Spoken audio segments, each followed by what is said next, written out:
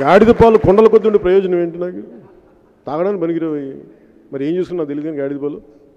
గాడిదలకు ఇస్తున్నాం అందుకని quality leadership పది మంది ఉంటే చాలు. నా పది మందినే ఏమన్నా? జనసేనకే మీరు పది మంది నాయకులు గెలిపించిన చాలు.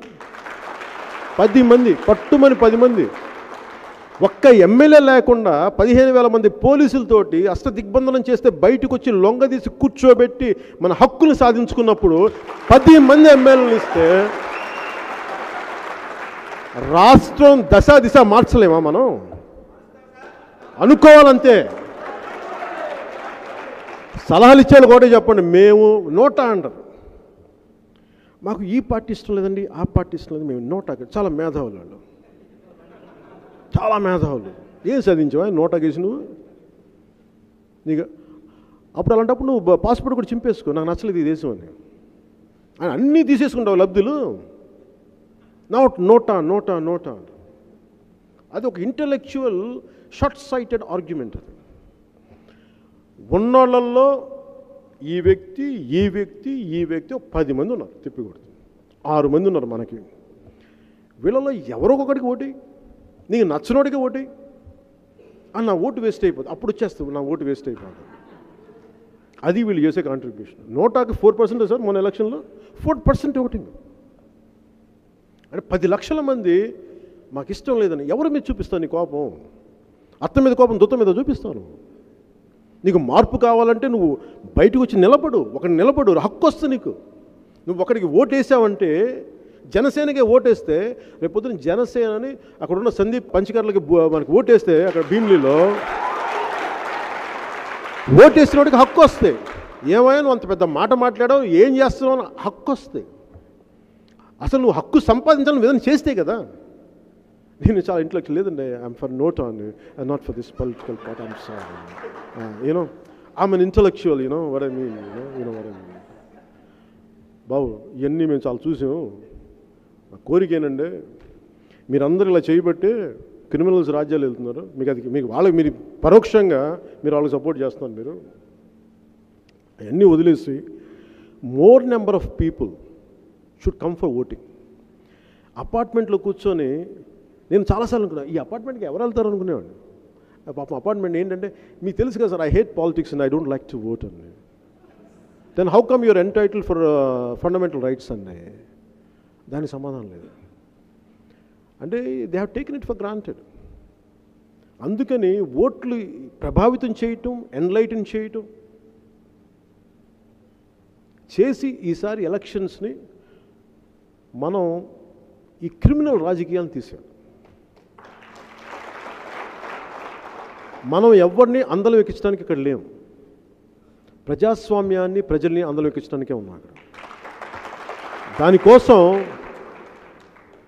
నా వ్యూహాలు నేను వేస్తాను. నా వ్యూహాలు ఎప్పుడు ప్రజలకు సంబంధించి ఉంటాయి కదా నా వ్యక్తిగతమైన బెనిఫిట్ కోసం నేను వ్యూహాలు వేయను. నేను నిలబడి చెప్తున్నాను.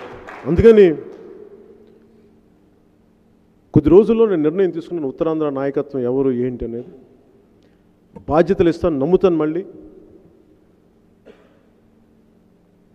జైలుకి వెళ్ళి అందరూ దిగులు పడాల్సింది పోయి కుటుంబ సభ్యులు కానీ మాకు జైలుకి వెళ్ళి ఒక హక్కుల కోసం పోరాడి జైలుకి వెళ్తే ఇంత తృప్తి ఉంటుందని మాకు తెలియలేదన్న.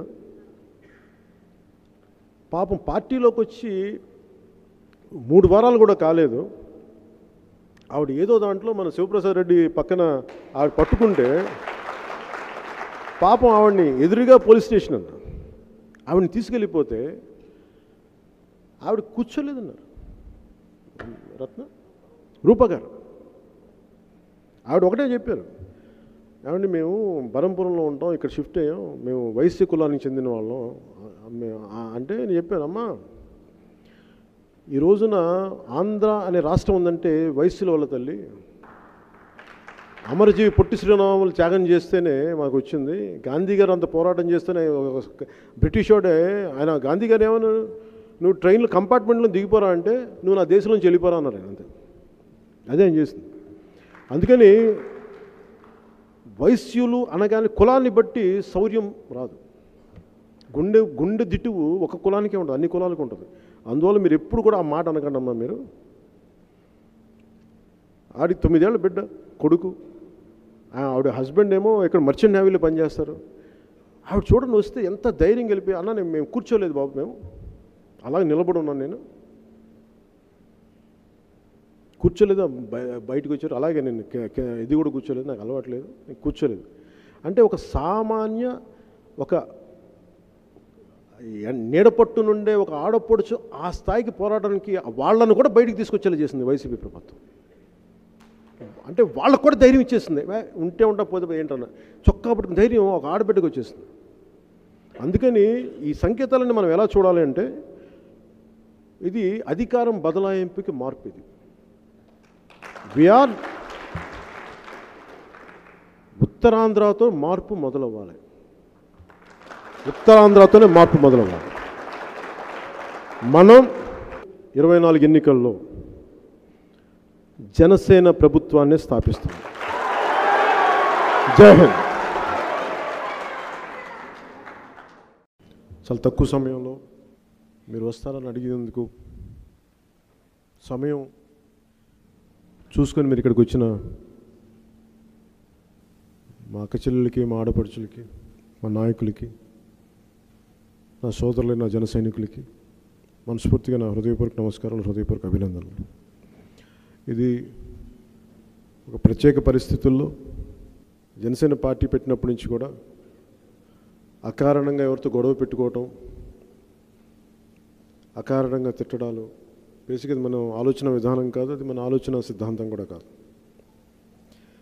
ఇందాక లాయర్ మీ అందరికీ నిలబడ్డ. ఈ లాయర్స్ మీ వాళ్ళందరినీ కలిసి కృతజ్ఞతలు చెప్తూ ఎంత బలంగా నిలబడ్డారు. ఆ రోజున ఒకటే చెప్పారు. మన ముఖ్యంగా మనకి న్యాయం మనకి మన లీగల్ వింగ్ ఎంత బలంగా నిలబడింది అని చెప్ చెప్తూ లీగల్ వింగ్ ఎంత బలంగా నిలబడిందని చెప్తూ ముఖ్యంగా మన మహిళా న్యాయవాదుల గురించి చెప్పింది ఏంటంటే మన మహిళా న్యాయవాదులు శివంగుల్లో పోరాడారు సార్